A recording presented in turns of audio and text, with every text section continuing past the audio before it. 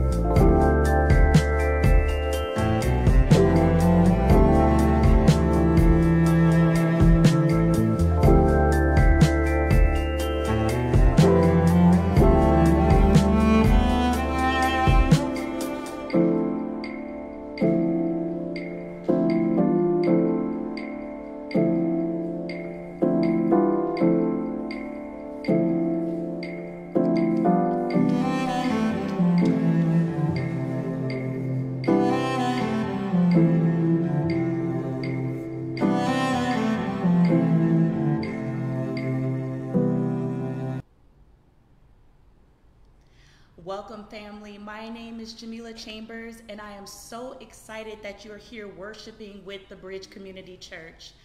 We are located here in Los Angeles, California, but we are so excited to be able to share this worship experience with you wherever you are. Before we get started today, I want to invite you to share this content with everyone on your social media platform if you are joining this service live. And if you are experiencing the service through a replay or someone sending you a link, share this word. We are so excited to make sure that everyone has the opportunity to be able to worship with us today. Before we get started as well, I want to make sure that you all know where you can connect with us on all social media platforms at The Bridge Community. We're also available online at thebridgecommunity.com. Now, we want to make sure that you are just sitting back, relaxing, and preparing to experience worship with us today. Let us have a word of prayer. Father God, we just thank you, we bless you, and we honor you today. We thank you, Lord God, for this service, for this time to come together in worship and in fellowship. We ask, Lord God, that you continue to bless every single family under the sound of my voice and meet them at their point of need. Father God, we ask, Lord God, that as the word goes forth today, that it will go forth and pierce the heart of every single listener, Lord God that lives will be changed, that lives will be transformed, Lord God, and that most importantly, that your love will be felt no matter where we are. Hallelujah, hallelujah, amen. And we are so thankful that on today we have the victory in Christ. Hallelujah. Join in as we declare, Hallelujah. Hallelujah. You have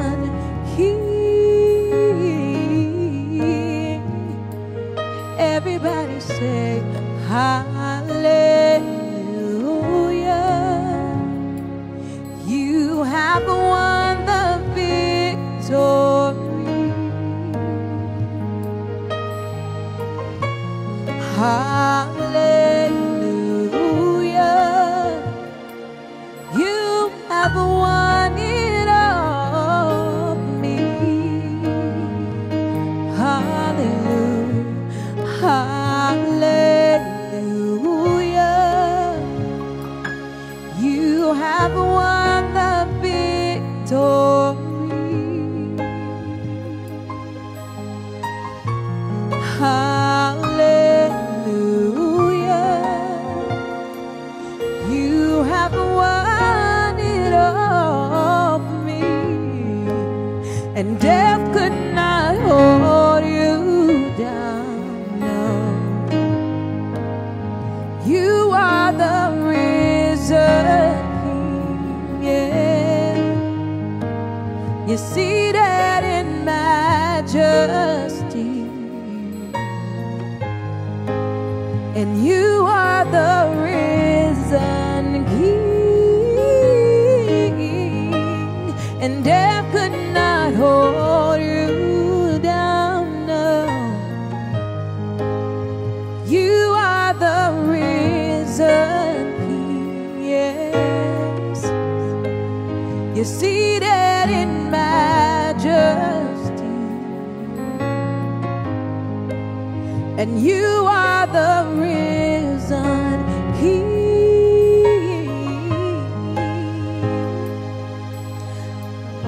Hallelujah. How many, many of you know that we have life only because he has given us life, because Jesus gave his life?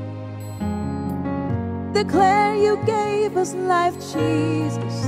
You gave us life, and I'm alive.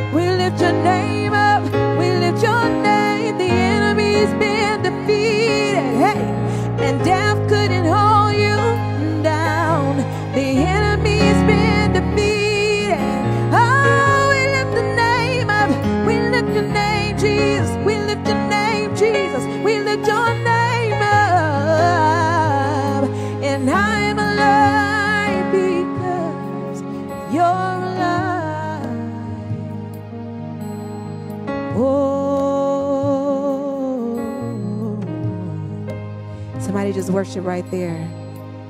If you know that you have life because he give, He's given you life, hallelujah. Because He gave His life, hallelujah. We have life.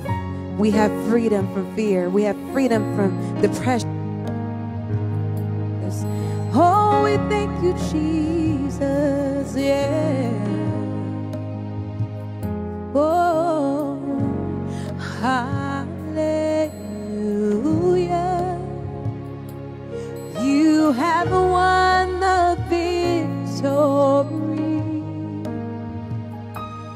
Everybody sing a hallelujah. You have won.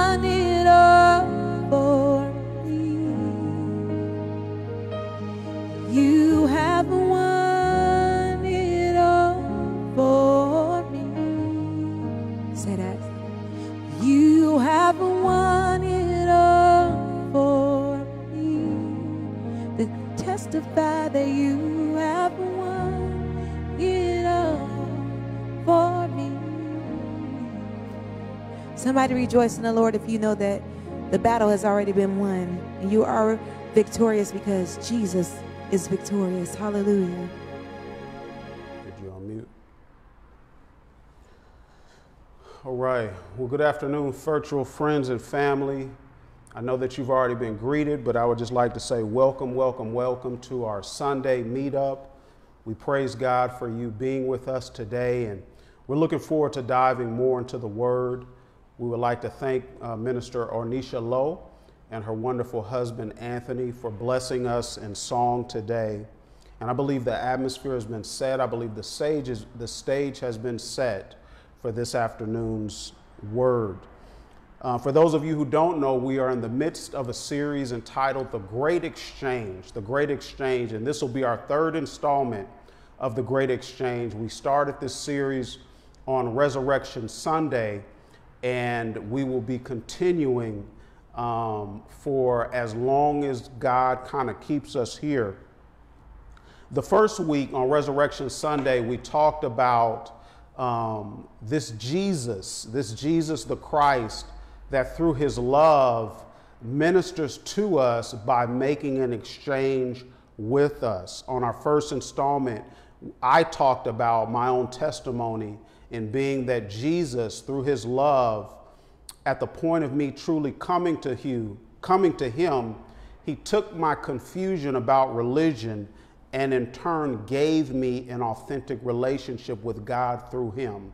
So that was our first discussion. And in addition, we talked about the thief that was on the cross on that Good Friday, how Jesus ministered to him and made a great exchange by removing that man's shame and giving him um, a first class reservation in paradise immediately on that very day.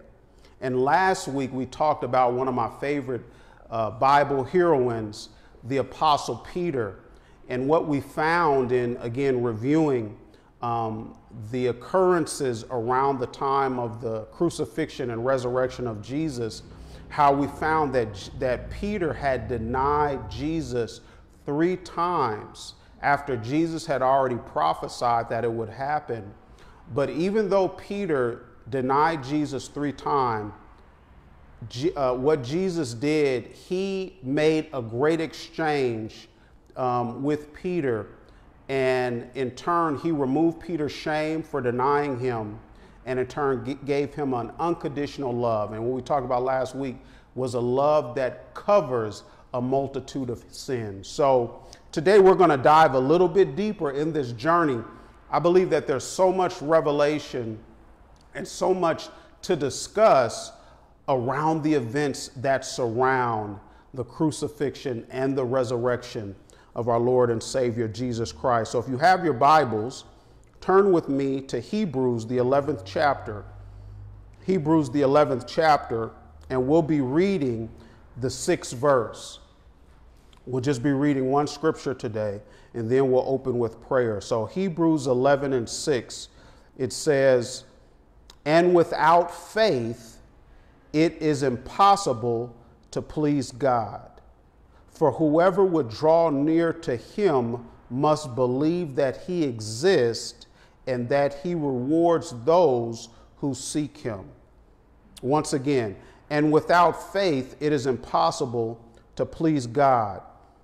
For whoever would draw near to God must believe that he exists and that he rewards those who seek him. Father, we just thank you and we honor you, we bless you. Father, we thank you, Lord God, for giving us an opportunity to come together as your children. We thank you, Lord God, for your great love. We thank you for your covering. We thank you, Lord God, for this gathering, Lord God, this virtual gathering that allows us that even though we're in a shelter in place situation, that we can come together as a family to seek you and to understand your word. Father, I'm asking, Lord God, that you would remove every matter of distraction that would try and enter in in this moment.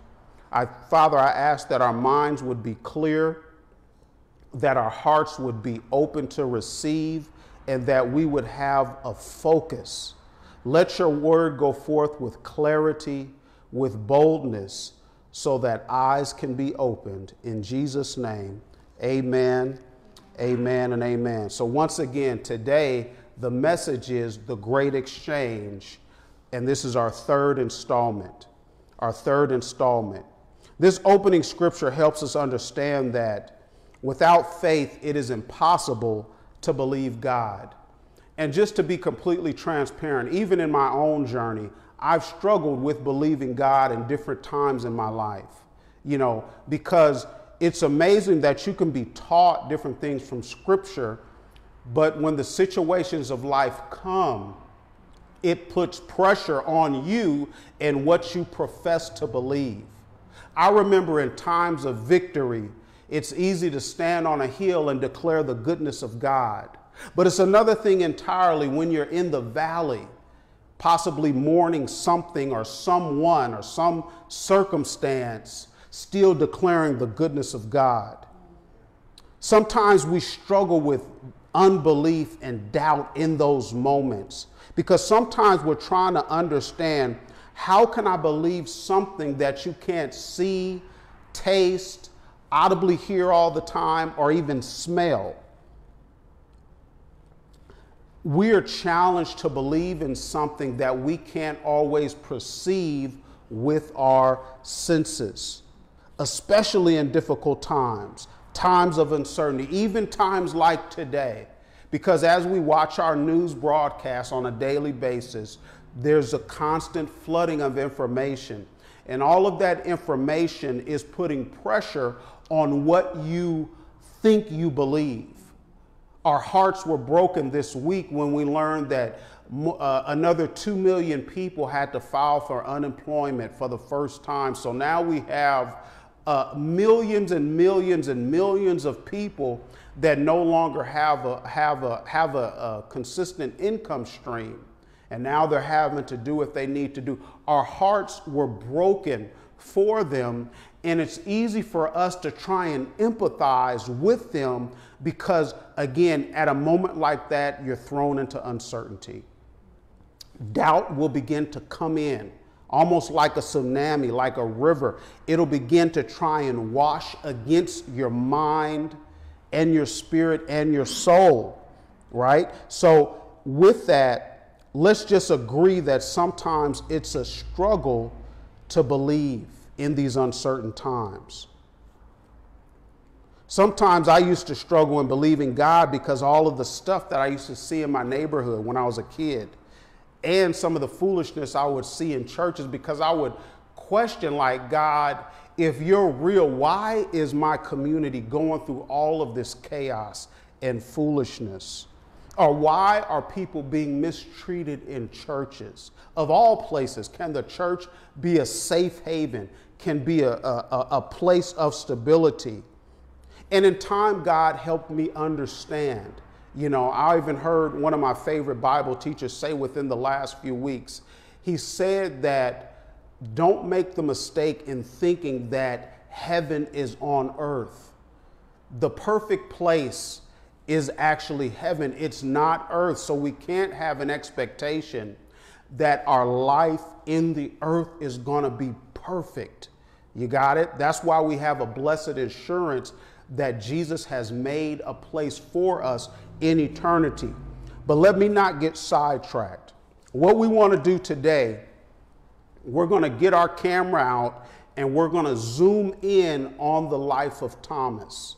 We're going to zoom in on his life, and he's going to help us understand this battle between belief and unbelief. It's a very interesting discussion. And in that, I, I promise I'll show you when the great exchange takes place for Thomas. We see Thomas introduced in Matthew, the 10th chapter. Thomas was introduced on the scene as being one of Jesus's original crew. You know, so he was like a charter member or a founding member or whatever you want to call it. So he was there with that first 12. He is often referred to as doubting Thomas, but we'll get to that later. Let's try and build up a little bit.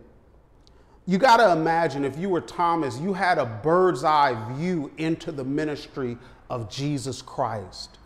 You would have saw Jesus raise a, uh, raise a, uh, a paraplegic man. You would have saw Jesus cast out devils. You would have saw Jesus feed thousands of people off of a, a few fish and a few loaves of bread. You would have had a first, a front row seat at Jesus moving in these signs, wonders, and miracles. And again, I, I, try and imagine myself being right there because when you're in those moments, it's got to feed your faith. It's just got to stir you up in all of that. Um, so again, Thomas had a bird's eye view, but in St. John, the 11th chapter, we see Thomas say something that was just a little off, okay? Just a little off. And, and, and, and what I mean is, he said something that a prize pupil should not say regarding his master, okay? So in St. John, the 11th chapter, in the 16th verse, it says, Then said Thomas, which is called Didymus, unto his fellow disciples, Let us also go that we may die with him. So let me try and set a little context. So Jesus and his crew was on the way to go see Lazarus. And what Jesus has said is like, you know, y'all be cool. Lazarus is asleep. We're going to go get him up. And what Jesus was all also explaining is that Lazarus was now dead. And Jesus said, We're going to go see him and we're going to get him up, right? So it's in this exchange with Jesus that Lazarus looks over at the other disciples and say, let us go also and die with him. And as a teacher student, let's just evaluate that from a teacher student perspective. If Jesus said that he was going to raise Lazarus up, why would Thomas sit there and say, let us go die with him? You got it? And, and, and all of us have been in class, y'all have been in class. You understand that it takes certain students to get the lesson a little bit longer than others, right? And I'm just point that out to show that, you know, there was something maybe a little bit off with Thomas's knower prior to, you know, where we're going. Amen. So again, we see that Lazarus was just a little off to make that statement. And for those of you who don't know, you can read that entire chapter of St. John, the 11th chapter, and you'll see that Jesus did just what he said he was going to do. He went to the tomb where Lazarus had been buried and he called Lazarus out of the tomb. You know, so again, even in this supernatural occurrence of Jesus raising a dead man to life, Thomas was there. So if Thomas was there, how in the world did Thomas become doubting Thomas? Because you see all of these instances where Thomas again had a front row seat of the ministry of Jesus Christ. So, again, how did Thomas earn the moniker Doubting Thomas? Let's flip over in our Bibles to St. John, the 20th chapter, in the 19th verse. And this is where we will rest our case. St. John, the 20th chapter, in the 19th verse. St. John, the 20th chapter, in the 19th verse, it says, then the same day at evening, being the first day of the week, when the doors were shut, where the disciples were assembled for fear of the Jews, Jesus came and stood in the midst and said unto them, Peace be unto you.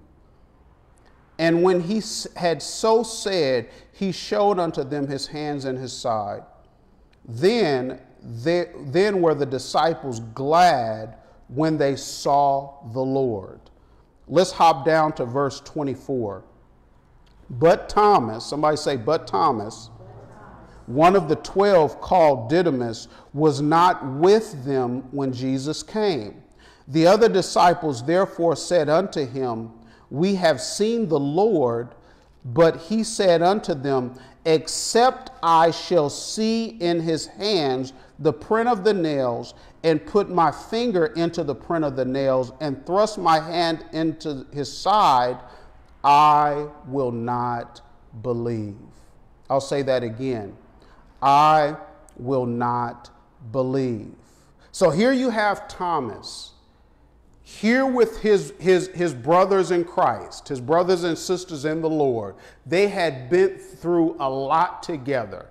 You know, again, they were at the tomb, they had seen the 5,000, they had seen the demoniac man healed, set free, the whole thing, right?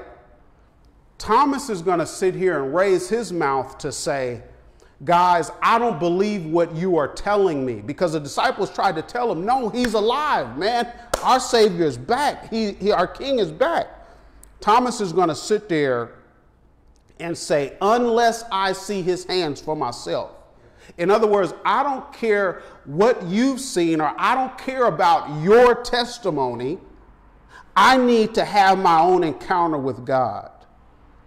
He said, Unless I place my hand in his side, he didn't say, I'll believe for real. He said, I will never believe. You got to imagine that.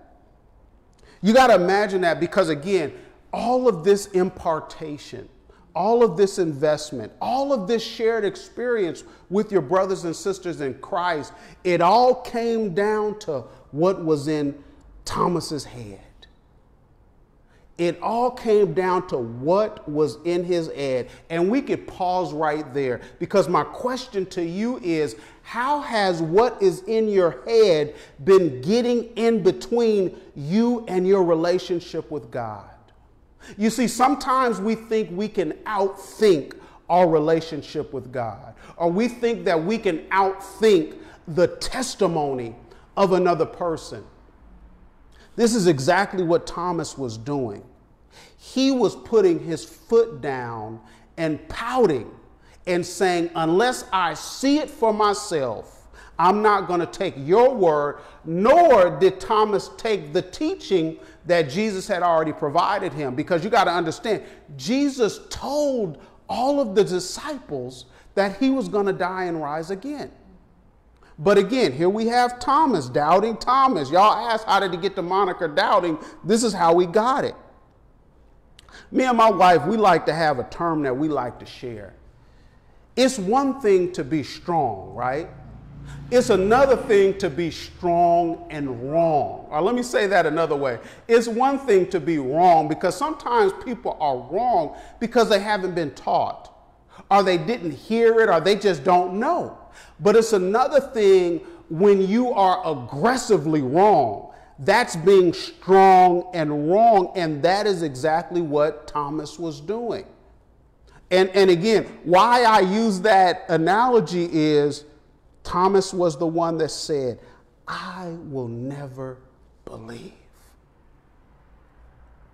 I will never believe. I don't care what you've said, I don't care what you've experienced. I will never believe.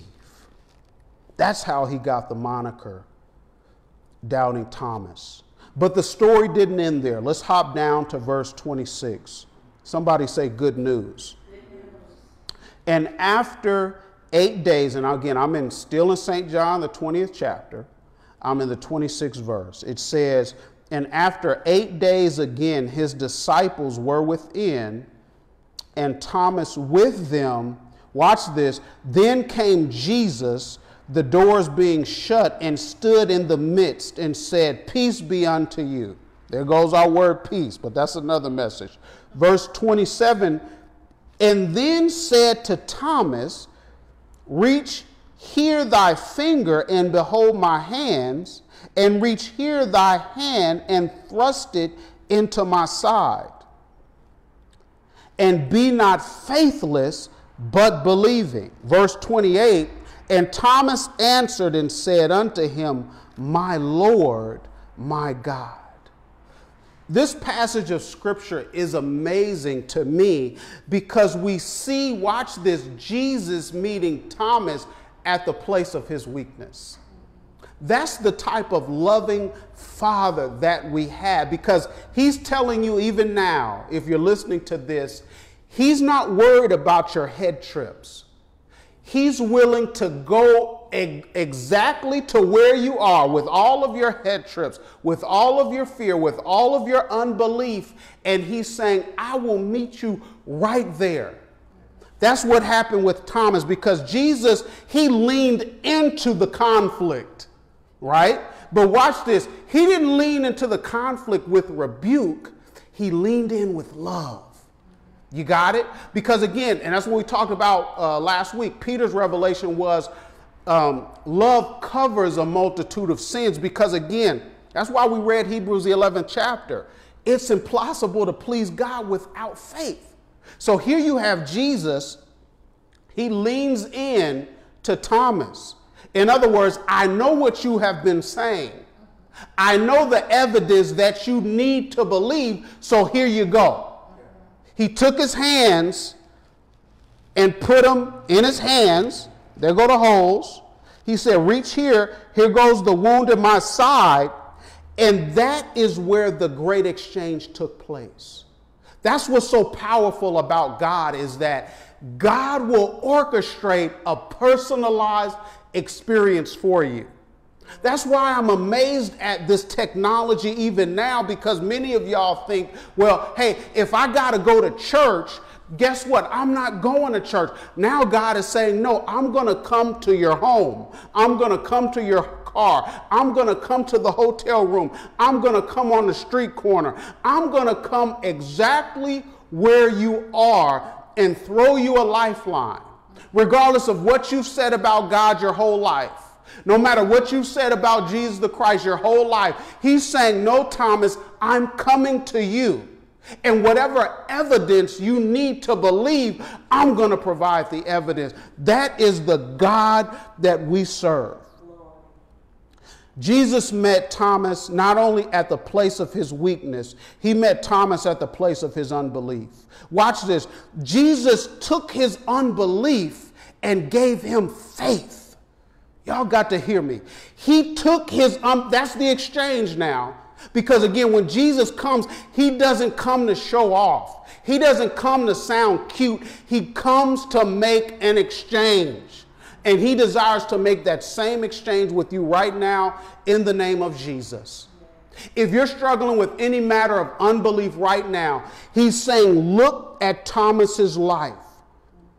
You see the character of Jesus. That's the other thing. Sometimes some of these preachers, they give God a bad name. Because here we're seeing the character of Jesus. We're seeing his love. We're seeing his heart. Because again, he didn't come to Thomas and just rebuke the guy immediately. See, how dare you question me? He didn't do that. He said, Thomas, what do you need to believe? Because we have a kingdom to further extend. We have a New Testament church to, to establish.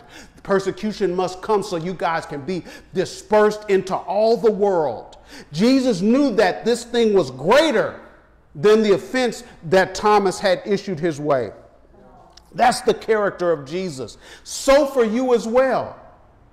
You may have trespassed against God. You may have trespassed against the name of Jesus. But what God is saying right now, He's saying none of that matters. If you need to touch His hands, He's okay with that. If you need to touch His side, He's okay with that. He is willing to wait for you as long as it takes. That's what's amazing. Travis Greene, one of our favorite worship leaders, he has a song called He Waited. And that song is just again about the love of God in that He waited. He's willing to wait for you. God waited for me until I was a grown man to fully come to Him. He spared my life more than once. And again, He waited until I came. And I praise God that He waited for me. The same is true for you. If we want to look at the character of Jesus, we are looking at the character of Jesus We've looked at his interaction with the thief. We've looked at him with his interaction, what? With Peter.